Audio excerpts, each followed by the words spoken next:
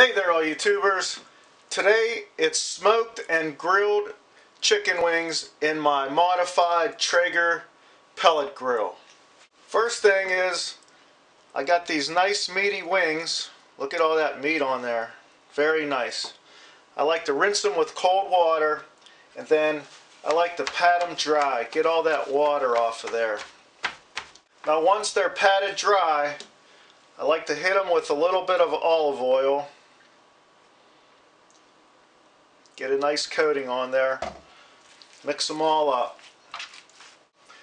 Now that we have them coated with olive oil, we're going to hit them with this ranch dressing seasoning.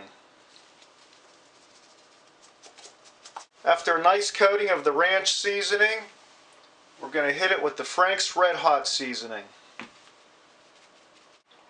Now that they're seasoned on both sides, into the refrigerator they go while I set up that pit. Alright, so here we have my Traeger pellet grill. And what I have here is the top rack. That's where I will be smoking the wings. Down here, that's the firebox. I took out the inside heat deflector and what I have here is a cast iron smoke box that I use to where I put my hot griddle plate all the way across here. It sits on this ledge right here. It sits right there. Now I have my Lodge griddle plate in there, as you can see, sitting real nice on that ledge. And now on that smoke box, and it has about an inch and a half clearance between the fire pot and the griddle plate. All right, we're going to take it to the next level.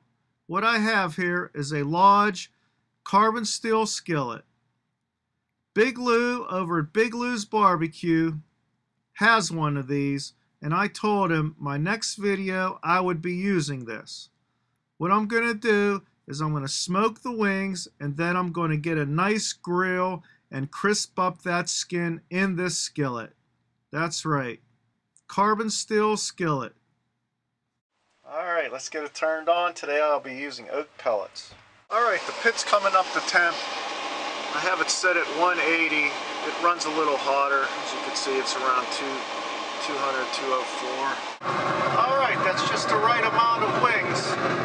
They're a little crowded up there, but got them all on. Don't you love the sound of that fan?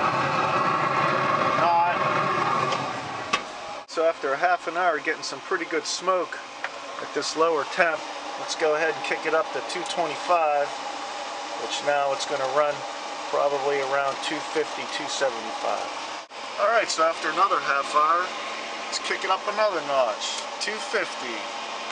That should run around 275, 300. Oh yeah, look at those. Getting good. Alright, so after an hour and 15 minutes, internal temp 165, and crisp that skin up. Oh man, this smells terrific. Listen to that sizzle. So I've turned the thermostat on high look at the nice, nice crisp sear I'm getting on these wings. Now that we've got nice color, crisp up that skin, to turn the thermostat down the smoke. And I'm going to hit them with some of this Sweet Baby Ray's buffalo wing sauce.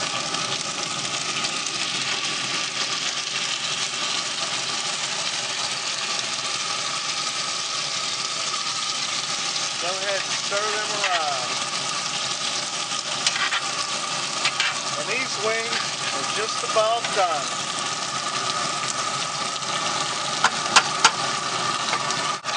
Stir them around in that sauce. Oh man.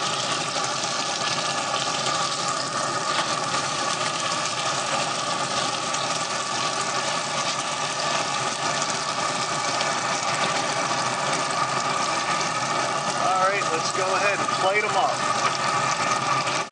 Okay, let's get a taste of these. Wow, look at that. Nice caramelization of that skin. Wow, look at that. Let's get a taste.